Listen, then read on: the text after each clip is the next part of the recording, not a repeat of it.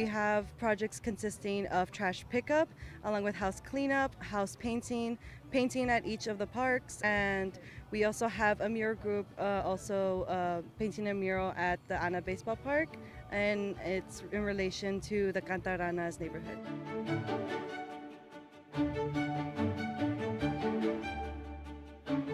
Um, we're all spread out here on the west side of Laredo to do great things for the community, and it's just so awesome to give back.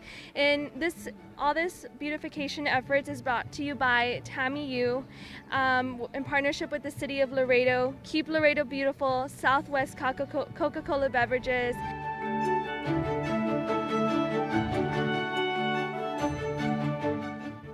Bueno, este trabajo lo estamos llevando a cabo con Environmental Parques y los de Tamio, ¿verdad? Que les agradecemos bastante esta ayuda que nos están dando y es donde tanto están recolectando basura como sembrando plantas para que se vean mejores los jardines.